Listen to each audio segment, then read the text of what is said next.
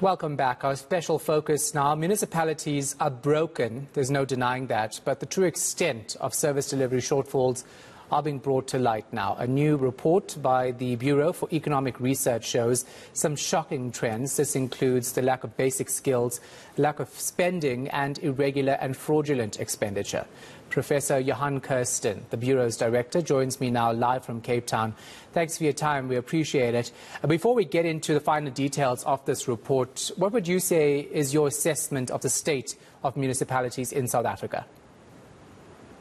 Yeah, thank you for having me, Sean. Um, I think it's probably uh, top of mind for everybody. Um, all of us are aware of the problems that we encounter in many of the municipalities. So it's difficult to make a general picture because in some municipalities we have proper functioning, proper delivery of services, but in others it's a complete lack, and, uh, and we have general reports of that. But we should remind ourselves what are the tasks of uh, municipalities? What are the basic services? So we have obviously provide water of assured quality, to provide electricity for domestic use and commercial use. And I think it's sometimes the commercial use that is a problem for most uh, people as they uh, want to set up businesses. To provide a stormwater system that prevent mitigation and damage of infrastructure in excessive rainfall, you know, very important if you think about KZN. To reticulate sewage, to deal with solid waste and to build roads and to maintain roads. So if you just have that picture in mind, obviously you then understand why citizens of South Africa complain. Um, so it's probably not necessary for me to present an assessment because every one of us have a vivid picture of the problems that they're encountering, whether it's the billing system, whether it's the electricity breakdown, whether it's a pipe not being fixed, whether it's a road with a pothole, whether it's uh, um, uh, water quality that is deteriorating, or sewage that is uh, um, common in the neighborhood. So I think those are the sort of general picture that we have, but I think we need to understand the causes of that. I think that's uh, the most important, which our report goes into detail. And one of the causes, you say, is a lack of skills in municipalities. Because if we have people who are competent in these jobs, they would make sure that proper maintenance work, etc., is actually done. Yeah, very important point, and I think that's the key issue because the critical staff in a municipality is usually those with engineering services and engineering skills, because your your um, resident engineer or your city engineer, as we used to call them, are very important for main, uh, ensuring that plans are approved, that plans are designed for roads, for road maintenance, for electricity supply, etc.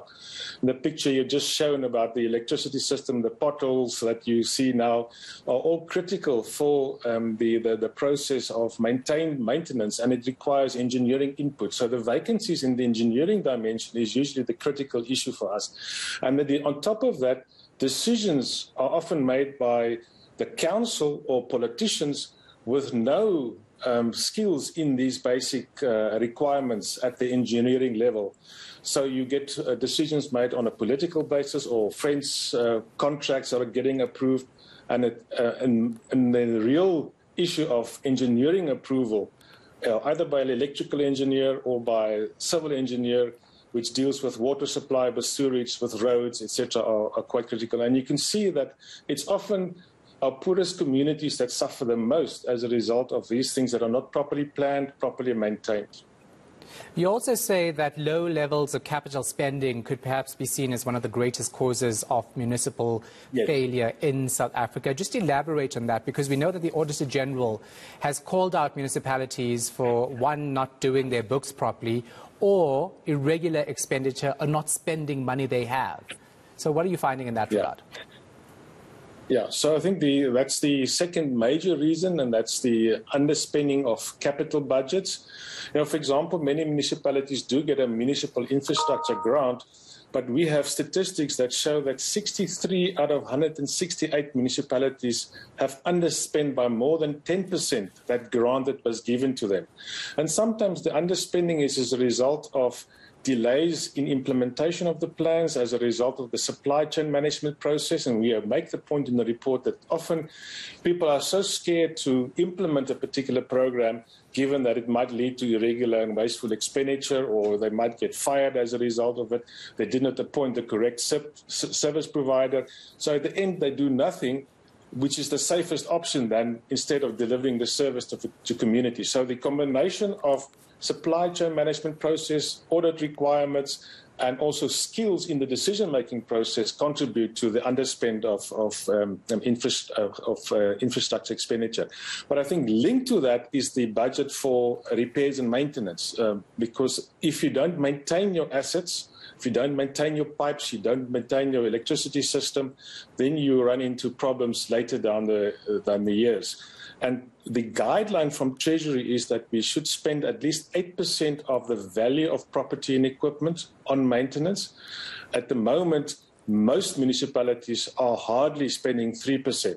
And those in the local municipalities, those in the more rural areas, they tend to spend about a 1% of their property uh, value on maintenance, which then suggests to you that it's likely that the infrastructure will break up over time if you don't maintain it regularly.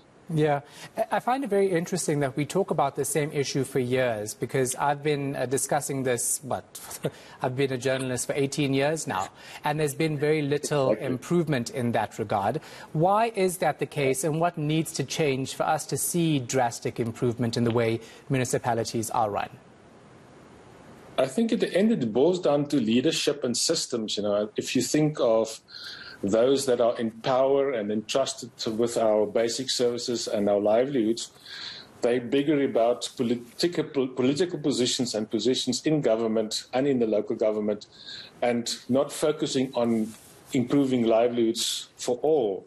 And I think this is the, the critical issue that we are, the local government has become a contested space, but we also have seen to, uh, a lot of migration to the main metropoles, which also leads to uh, overburden on the services of the municipalities, given that you often don't have proper decision making at the municipal level and the delays in decision making. So it's a combination of leadership, decision making, spending approval of budgets, but just taking action and delivering the basics is, is very important. Okay, thank you so much for your insight. Appreciate it. Professor Johann Kirsten, Director of the Bureau for Economic Research.